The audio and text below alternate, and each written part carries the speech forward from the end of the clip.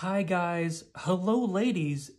And welcome, everyone, to another episode of Paul Brooks TV. Specifically, we are doing an unboxing video for something called the Collingswood story from Cauldron uh, video. So let me get the uh, plastic off of this thing and we'll take a look. Okay, and there you go. Look at the uh, beautiful slipcover here. Interesting too, it has a matte finish and then the screen here, the skull on the, on the screen is glossy. So that's pretty cool. A revolutionary experiment in the supernatural, the Collingswood, the Collingswood story, a Mike Costanza film. And what's really interesting about this movie is that it's a very early example of uh, what you might call a screen life movie or a desktop movie. The sort of thing um, you see now with like searching and uh, the sequel that just came out, Missing, and the Unfriended movies and stuff like that. This is a very early uh, entry, I suppose you would say, into that subgenre. And probably, I mean, it's got to be one of the first because this is a pretty old movie. They practice rituals in the attic. And like I said, this is released by Cauldron. So, take a look at the case here and same thing. Nice clear um, jewel jewel box for it. What am I trying to say? Jewel case. Um, take a look at everything that we have here on the Collingswood story, a revolutionary experiment in the supernatural. You can go ahead and read the description there if you would like. We got some special features behind the story, Stephanie Dees interview, Johnny Burton and Grant Edmonds interview, director commentary, image gallery, and a trailer.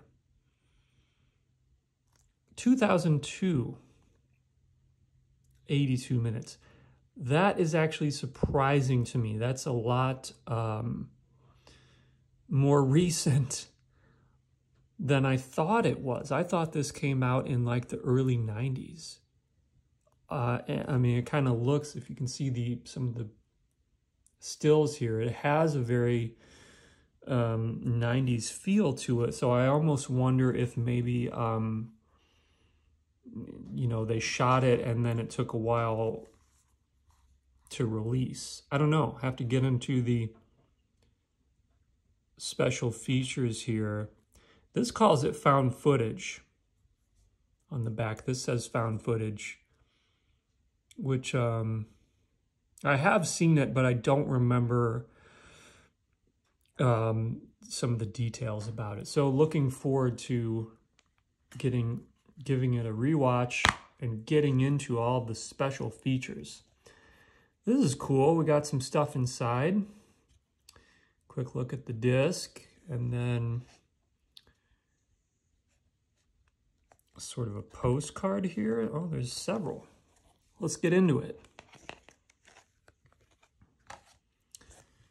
Looks like back here we have the original, yep, there's the original artwork. If you can see that, there's me. I'll probably go ahead and turn that around later. But right here, this is cool. We got some little uh, art cards. And see what I mean? Like this is old school. This is what the whole movie looks like. This deco video phone, you know, like super, super 90s look to it. So I'm a little bit surprised. Maybe I'm just remembering things wrong. I'm getting old and maybe that's what things were like in 2002. I don't know. Oh, more.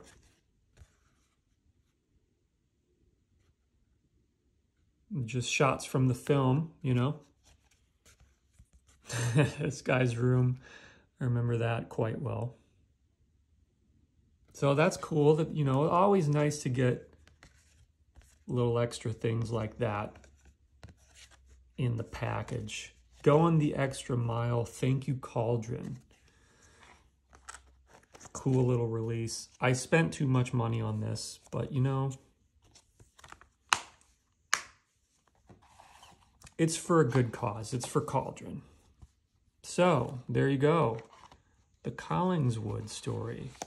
Check it out. I ordered this actually off of, um, what's it called? MVDvideo.com, I think is where I got it from. But if you just do a search, uh, it's available in a couple different places. And I recommend it. Thumbnail, there you go. Thank you guys for watching. I hope you're doing well, and I'll see you next time.